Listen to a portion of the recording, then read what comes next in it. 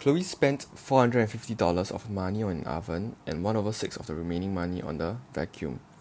She had one third of her original sum of money left after making two purchases.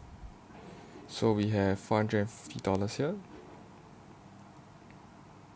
Okay, and then 6 units 1, 2, 3, 4, 5. Okay, and this amount is on the vacuum. Now, subsequently, you know that the remaining money, right? Okay, is actually one third. Okay, of the original sum. So what you want to do next is to try to find, okay, and understand what is the commonality between these two models. And you'll realize that if we were to break down into five units each, okay, what will you realize?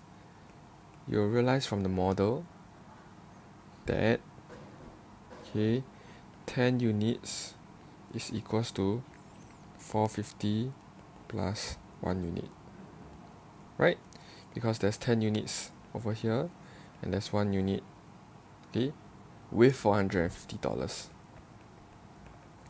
so immediately 9 unit will be 450 1 unit will be okay 450 divided by 9 which will give us $50 now subsequently, how much money did Chloe have at first? Chloe will has okay fifty dollars times how many unit? Total there is fifteen units. Okay, and that is seven hundred fifty dollars. Okay, that is the solution for this question.